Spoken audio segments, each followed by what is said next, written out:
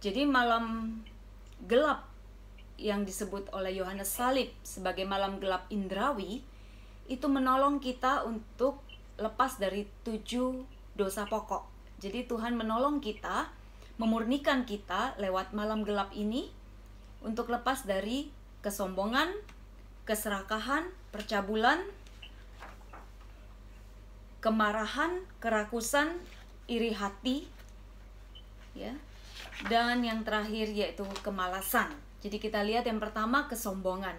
Bagaimana lewat malam gelap indrawi ini orang dilepaskan dari kesombongan.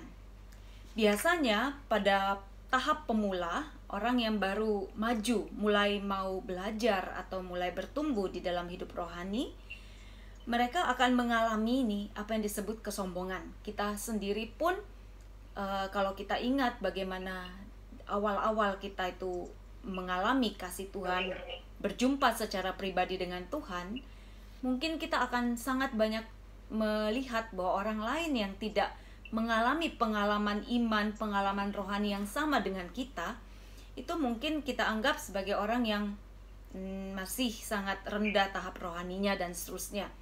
Ini juga suatu kesombongan untuk menilai uh, tahap rohani orang lain ya lebih rendah daripada kita itu termasuk suatu kesombongan juga karena sebenarnya kita nggak pernah tahu seberapa dalam hubungan dia dengan Tuhan ya. Jadi hanya orang itu dengan Tuhan yang tahu. Nah setan itu senang kalau kita menganggap diri kita lebih hebat lebih baik daripada orang lain lebih suci lebih kudus daripada orang lain. Bahkan kita mungkin akan terus menerus didorong juga untuk semakin uh, banyak melakukan kegiatan-kegiatan rohani dan seterusnya sehingga kita tampaknya semakin kudus. Ya ini ada hubungannya juga kalau kita lihat nanti dalam keserakahan ya. Seseorang terdolong untuk terus menerus itu mencari hiburan rohani atau bahkan ada yang kita sebut juga dengan kerakusan ya kerakusan rohani di mana terus menerus mencari eh, kegiatan-kegiatan uh, yang memuaskan akhirnya ego kita bukan lagi untuk menyenangkan hati Tuhan, tetapi untuk memuaskan ego kita. Nah, uh, jadi kesombongan ini memang uh, sangat uh, membahayakan ya. Jadi walaupun kita udah maju dalam hidup rohani, namun akhirnya kita jatuh dalam kesombongan, maka segalanya itu sebenarnya sia-sia ya. Bahkan bisa jadi kita ditolak oleh Tuhan karena semua kemuliaan itu hanya untuk Tuhan, bukan untuk diri kita sendiri ya. Nah jadi sering kali uh, kita juga bahkan sering kali menghakimi orang lain ya. Jadi kalau orang nggak mau doa orang nggak mau ikut ke gereja nggak mau ikut kegiatan rohani kita lalu akhirnya kita menganggap mereka itu sebagai orang yang uh, malas ya. Orang yang tidak baik hidup rohaninya dan seterusnya. Nah, ini yang harus kita waspadai, jangan sampai kita menganggap rendah orang lain.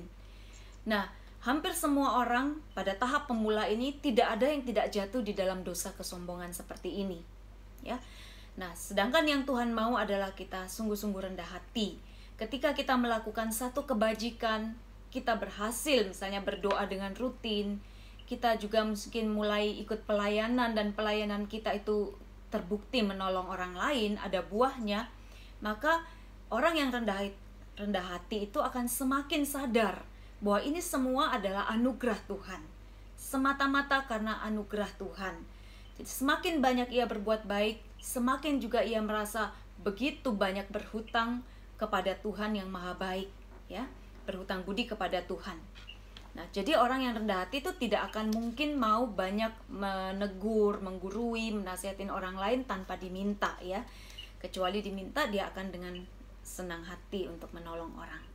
Jadi seperti itu tujuh dosa pokok yang pertama kesombongan, yang kedua keserakahan. Jadi malam gelap indrawi pada jiwa ini juga akan menolong kita lepas dari keserakahan. Biasanya orang yang pertama kali uh, hidup rohani mulai bertumbuh, dia akan mengalami banyak hiburan rohani.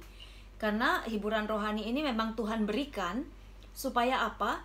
Supaya orang itu bisa lepas dari kesenangan kenikmatan dunia jadi lewat hiburan rohani yang Tuhan berikan, sebenarnya Allah itu mau memberikan mencicipin kepada kita bahwa ini ada loh hiburan rohani yang sebenarnya dibutuhkan jiwamu ya. Aku bisa memberikan engkau penghiburan seperti ini. Oleh sebab itu uh, tinggalkanlah segala hiburan-hiburan dunia yang tidak berguna itu yang bahkan membahayakan keselamatan jiwamu. Jadi Tuhan memberikan hiburan rohani supaya manusia kita itu sanggup untuk melepaskan kenikmatan dunia dan mencari kenikmatan yang dari Tuhan. Nah, awalnya seperti itu. Nah, tapi kalau kita nggak hati-hati, kita akan bisa hmm, diselewengkan hanya untuk mengejar uh, kenikmatan rohani, ya bukan Tuhan. Oleh sebab itu, malam gelap indrawi pada jiwa ini juga menolong kita untuk tidak terikat, tidak melekat pada hiburan-hiburan rohani.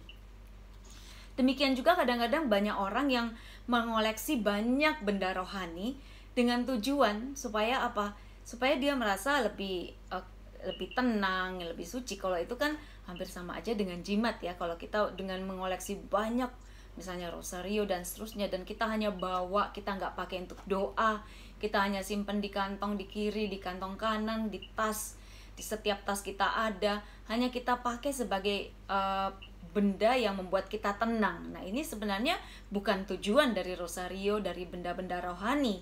Tapi tujuan dari benda rohani itu hanyalah untuk menolong kita bisa berdoa lebih baik.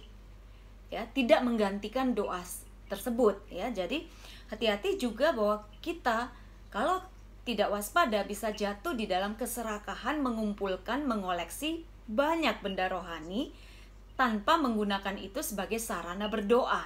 Nah, ini yang harus kita waspadai juga. Nah, jadi e, kerakusan itu bisa pada keinginan mengejar hiburan rohani dan juga pada benda-benda rohani ya. Nah, cacat celah yang ketiga yang Tuhan juga mau lepaskan kita lewat malam gelap indrawi yaitu adalah percabulan. Jadi ketika orang e, mengalami kenikmatan di dalam berdoa ya, jadi kita tahu bahwa pada waktu kita dibawa oleh Tuhan mengalami hadirat Tuhan, maka banyak di situ hiburan rohani. Kita bisa mengalami bagaimana jiwa kita itu begitu excited ya, bahkan kita mungkin mengalami apa yang disebut apa ya keluar dari diri sendiri sehingga kita hanya sungguh-sungguh merasa bersatu dengan Tuhan dan seterusnya.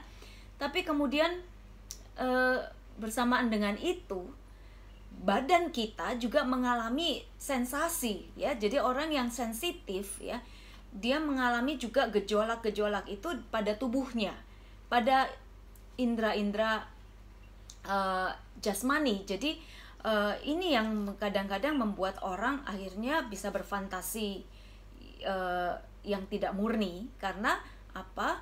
Tubuh jiwa roh kita ini sebenarnya satu kesatuan. Jadi apa yang dinikmati oleh roh itu itu kemudian juga dicoba untuk diterima oleh tubuh kita tetapi masing-masing menerima dengan caranya sendiri. Jadi tubuh ini juga menerima kenikmatan sesuai dengan yang dia bisa. Nah oleh sebab itu pemurnian atau malam gelap ini menolong kita untuk tidak lagi mengalami kenikmatan-kenikmatan itu pada tubuh kita, pada jasmani kita, sehingga kita sungguh-sungguh dapat mengalami segala uh, hiburan rohani ini betul-betul dengan cara ilahi ya. Jadi kita tidak uh, uh, apa artinya apa tidak mengalami yang disebut erotis erotisisme di dalam tubuh kita dan seterusnya ketika kita berdoa. Tapi kita sungguh-sungguh bisa uh, mengalami secara ilahi. Baik tubuh kita jiwa kita pikiran kita itu sudah lebih ilahi Nah, kalau kita lihat ada tiga penyebab atau sumber dari kelemahan kita yang pada percabulan ini. Yang pertama karena kodrat manusia kita ini lemah ya. Jadi ada bagian luhur dari jiwa yang lebih luhur itu yang disebut bagian roh.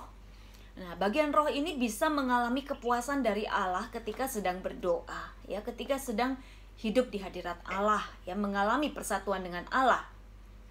Tetapi bagian yang lebih rendah dari jiwa itu juga mengalami kenikmatan ya. Sehingga kadang-kadang jiwa eh, kadang-kadang bagian yang lebih rendah ini tidak mampu menikmati secara ilahi ya. Sehingga menjadi suatu kepuasan indrawi yang tidak suci. Uh, nah seperti yang dikatakan oleh seorang filosof bahwa setiap bagian itu menerima sesuatu menurut caranya sendiri jadi tubuh kita yang tidak terbiasa kita latih itu juga menerima sensasi itu dengan caranya sendiri ya. Makanya bisa berkembang menjadi suatu uh, hal yang sensasi aja atau erotis dan seterusnya. Nah tapi jika kita setia kepada Tuhan maka Tuhan akan membuat kita mampu mengatasi gejolak-gejolak pada jasmani ini sehingga kita dapat melewatinya dan sungguh-sungguh bisa menerima uh, uh, anugerah dari Tuhan ini dengan cara yang ilahi ya. Ini lewat malam gelap kita akan mengalami pemurnian seperti ini. Nah, hal kedua yang menyebabkan kita bisa jatuh di dalam percabulan seperti ini itu adalah setan. Memang roh jahat juga tidak menginginkan kita bertumbuh dan dia ingin supaya kita berhenti berdoa. Nah, jika kita, jiwa kita itu memberi perhatian pada godaan si iblis seperti ini, maka hmm, kita akan sangat dirugikan ya.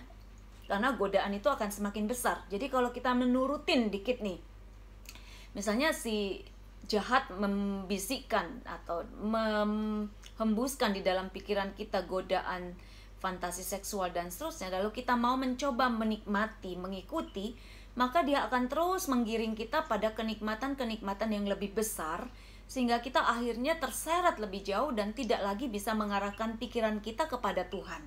Nah, kita harus hati-hati di situ untuk segera mengusir, menutup apabila ada godaan-godaan seperti itu sehingga kita nggak terseret lebih jauh ya.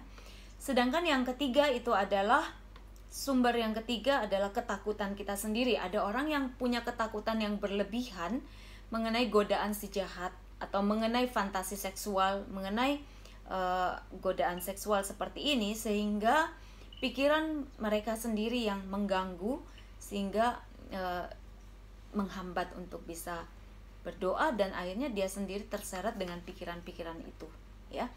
Nah itu adalah uh, kelemahan ketiga yang Tuhan mau murnikan lewat malam gelap. Sedangkan kelemahan yang keempat yaitu kemarahan. Seringkali orang yang sudah mengalami kemanisan rohani bersama Tuhan mereka akan marah ya jika Tuhan itu menarik hiburan rohani. Jadi seperti tadi kita lihat di depan bahwa Tuhan itu tidak mau kita melekat pada hiburan rohani sehingga kita diselewengkan dari maksud awal kita bukannya mencari Tuhan pribadi Tuhan tetapi kemudian hanya mengejar ke penghiburan rohaninya. Nah, jika Tuhan itu mau kita makin maju, makin murni, maka dia melepaskan hiburan rohani tersebut. Nah, orang yang punya kecenderungan suka marah, dia mudah sekali marah dan jengkel kalau hiburan-hiburan di awal rohaninya ini ditarik begitu ya. Nah, menjadi kesal, bersungut-sungut dan bahkan dia akan mungkin berhenti berdoa dan bisa jadi menjadi malas berdoa. Itu ada hubungannya dengan uh, dosa kemalasan juga. Malas berdoa karena merasa ah aku berdoa kok nggak mengalami lagi kemanisan atau hiburan seperti yang kemarin-kemarin ya. Nah, ini yang membuat orang ini harus uh, dimurnikan dari dosa kemarahan supaya dia lebih tekun lagi di dalam segala situasi seperti itu. Juga termasuk kalau orang tersebut melihat kemarahan orang uh, sorry, kelemahan orang lain, mudah sekali untuk marah, benci, jengkel, bersungut-sungut, menghakimi, menuduh orang lain kalau melihat ada kesalahan atau kelemahan pada diri orang lain mencela orang lain dengan perkataannya baik secara kasar maupun halus. Nah, hal seperti ini uh, sangat bertentangan dengan pribadi Roh Kudus yang penuh kasih. Jadi, Tuhan ingin ingin sekali menolong kita lewat segala uh, kehambaran ya, mungkin kesulitan yang kita hadapi supaya kita itu lebih sabar, tidak sedikit-sedikit itu marah gitu. Karena kemarahan ini akan sangat uh, menjauhkan kita dari pribadi Roh Kudus yang penuh kasih itu, ya. Termasuk kalau orang ini uh, tidak sabar terhadap kelemahan dirinya, ada juga orang yang nggak sabar kalau melihat dirinya itu sering kali itu mengalami kelemahan yang sama, jatuh dalam dosa yang sama, belum bisa maju dalam hidup rohani sebagaimana yang dia inginkan, orang ini mudah sekali untuk marah terhadap diri sendiri. Padahal kita pun harus mengasihi diri sendiri sebagaimana kita mengasihi orang lain. Kita nggak bisa mengasihi orang lain kalau kita pertama-tama belum menerima diri kita. Jadi kita pun harus menerima segala kelemahan-kelemahan kita ini dan pelan-pelan kita berjuang dengan bantuan rahmat Roh Kudus untuk uh, lepas untuk mengatasi segala kelemahan ini. Jadi sering kali orang yang tidak sabar, yang suka marah itu juga menjadi jengkel terhadap dirinya sendiri ya. Nah, jadi kita harus sungguh-sungguh bersandar pada rahmat Tuhan bukan pada kekuatan kita sendiri untuk maju di dalam hidup rohani. Nah, kita perlu sabar menantikan waktu Tuhan dan rahmat Tuhan, ya. Nah, yang kelima, kerakusan roh eh, kerakusan ya. Tadi saya sudah katakan, sering kali tanpa kita sadari, kita mau menumpuk segala rahmat karunia-karunia. Kita ingin disebut orang yang hebat, orang yang kudus dengan cara menumpuk segala macam karunia-karunia Roh Kudus tanpa sadar kita melayani, kita banyak puasa, kita banyak doa, bukan untuk bertumbuh dalam kasih, tetapi hanya untuk mengejar karunia macam-macam, karunia supaya bisa menyembuhkan orang, karunia untuk bisa bernubuat, karunia untuk punya sabda pengetahuan, karunia untuk bisa mengadakan mukjizat dan seterusnya. Dengan tujuan supaya kita ini merasa diri kita baik, merasa diri kita hebat ya Hal seperti ini hati-hati sekali karena tanpa sadar kita bisa terseret pada kesombongan dan uh, pada kerakusan rohani atau hanya untuk memuaskan ego kita, bukan lagi untuk melayani Tuhan, melainkan melayani diri kita sendiri. Hal seperti ini uh, banyak terjadi kalau kita tidak hati-hati. Oleh sebab itu sering kali Tuhan itu mengizinkan ada kegagalan dalam pelayanan kita, ada kesulitan